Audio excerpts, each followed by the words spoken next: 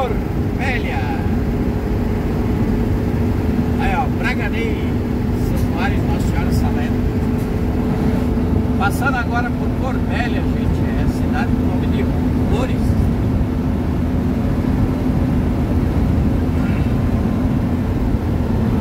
Corbélia é uma flor.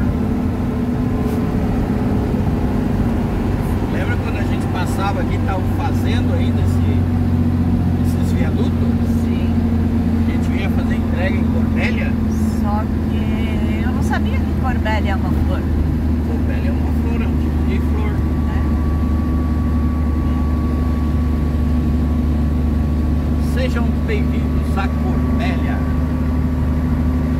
É, e agora a gente passa por cima dela.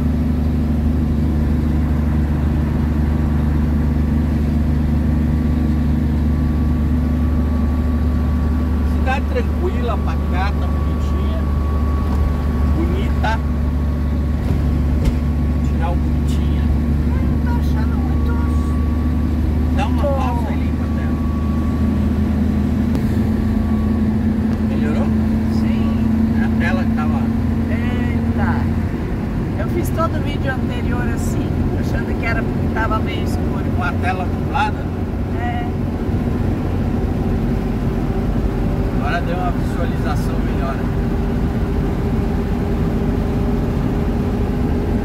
Essa é mais uma das entradas. Olha ali Corbélia ali, ó. Ali, ó. A entrada da cidade. Cidade das Flores, viu? É, sim. Corbélia, cidade das flores.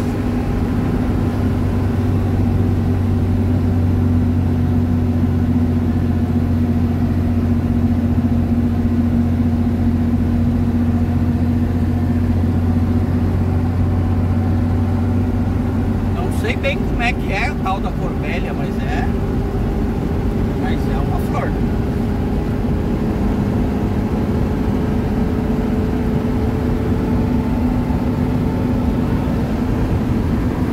E aqui já tem a plantação de soja. É, gente, pô, a gente, a gente anda nesse Paranazão aí, mas é muita plantação. Olha aí, quase dentro da cidade, gente. Olha só. Saiu dos arredores da cidade, é tudo isso aí, gente. É um tapetão. Tapetão de soja.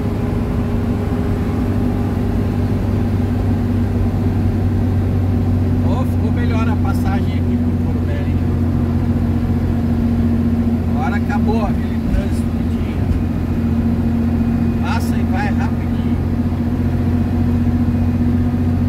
Agora nós estamos sentindo Campo Mourão, Maringá. Tem chão ainda na nossa frente. Vou mostrar para vocês aqui as, a soja como tá bonita. Olha aí, ó. Tapetão de soja se estende, vai longe. Ali na frente vai dar para ver melhor a quantidade de soja que tem nesse Nessa época no Paraná, aqui nessa região oeste do Paraná é muita soja, muita soja. Não é só a região oeste, né? Tem várias regiões. A região dos Campos Gerais, que tem bastante também. O Paraná é uma região repleta de agricultura. Olha aí.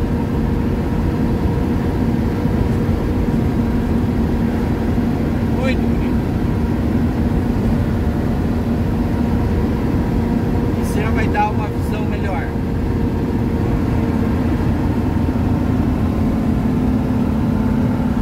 Olha aí, gente. Vai-se embora só.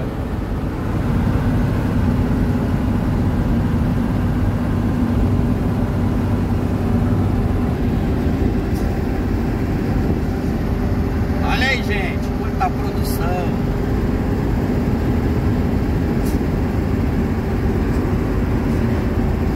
A diferença dessa região aqui do Paraná, do Mato Grosso,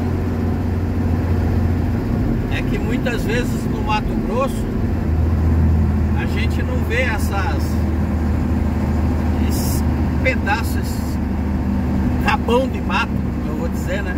Ah, Capão de floresta no meio da, da produção, como vê aqui no Paraná, né?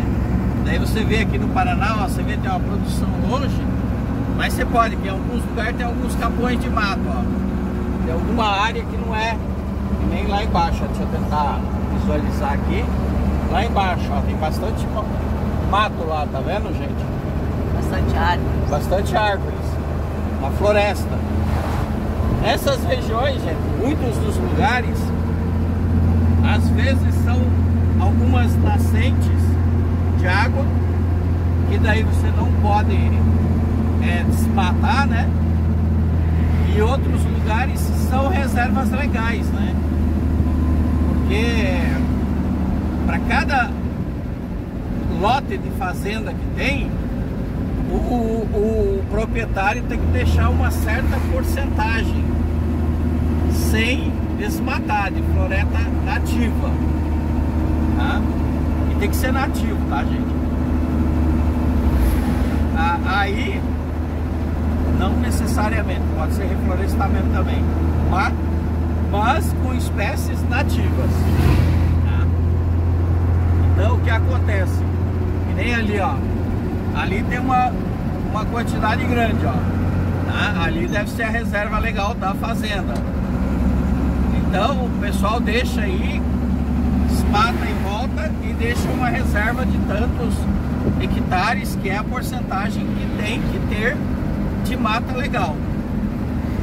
Aí, ah, mas no Mato Grosso não tem isso, no Mato Grosso, no Mato Grosso do Sul, lá nos outros estados, que você vê aquela, aquela plantação que a perder de vista e não vê essa, essa reserva, tem, gente.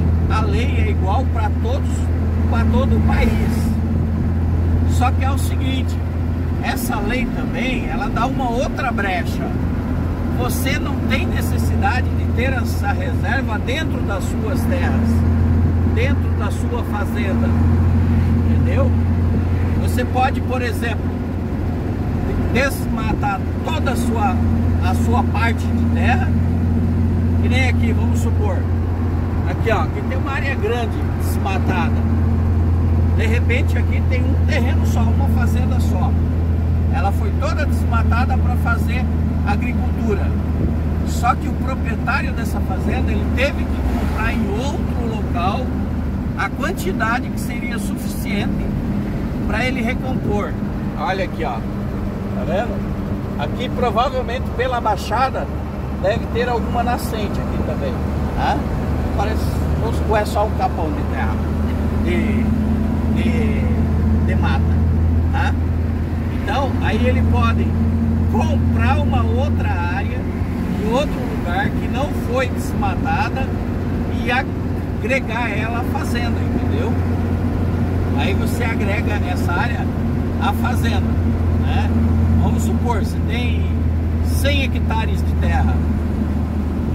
Desses 100, 80 você tem que você pode produzir e 20 20 hectares você tem que ter de mata, né? Ah, mas aqui o solo é bem propício para plantar, porque é um solo reto, um solo bonito, dá para fazer colheita mecânica, mecanizada, dá para fazer plantio mecanizado, né? Então você faz o quê? Então você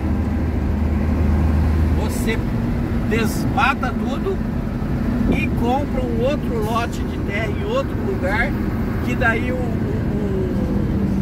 a, a- como eu vou dizer assim, a topografia não é não é tão reta, né? Não é tão plana. Aí talvez você não conseguiria fazer, não conseguiria fazer uma colheita mecanizada, um plantio mecanizado. Aí você pega e agrega a sua fazenda. Mas você sabia que não é só as lavouras? Empresas também, né? Sim, sim, sim, sim. As empresas também têm que ter uma. Que, que a empresa, tem empresa que é construída perto de um riozinho, só que no rio lá tudo bem, tem árvores ao redor, é bem cuidado, mas eles têm que comprar uma terra deixar a mata lá na terra. Exatamente. Né? Isso tem. Sabe com quem que aconteceu isso? Eu sei, por isso que eu falei. A oficina do Pisato. Isso, lá de É? Maravilha. A oficina do Pisato lá em Maravilha, ela é construída do lado do, do rio. Né?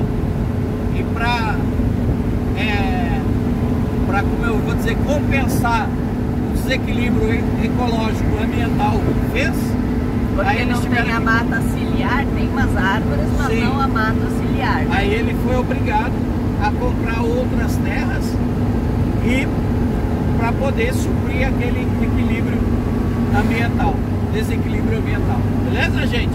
Então é assim que funciona. E agora nós vamos seguindo aí rumo, rumo a Campo Mourão, próxima cidade grande na nossa frente.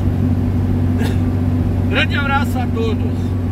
Ah, recadinho, viu? Não sai daí não.